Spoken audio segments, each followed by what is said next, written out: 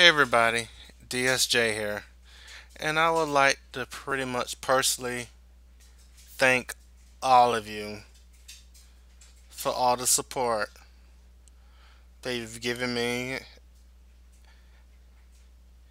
and my family for all these years, especially after everything pretty much hit the fan in January.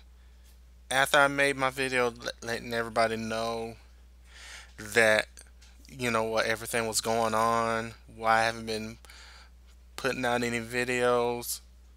I actually took the time and read all the comments comments from everybody.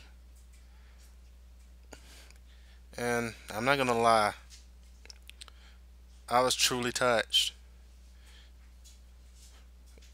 Hmm. My wife was also.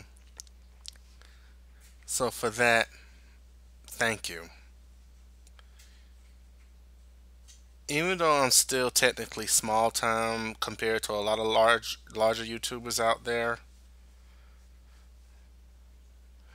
that have fans like all of you and maybe new fans that may come in the woodwork, hmm, I couldn't be any happier.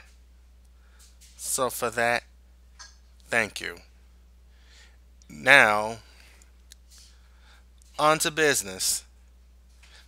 I am going to focus on two Let's Plays at a time. Like I said, Freedom Planet and Undertale. And as far as the Super Mario Maker Saturdays, I'm changing the format to that because there's no way in the world I could actually do it every Saturday. Sometimes I want to do that in the middle of a week or somehow.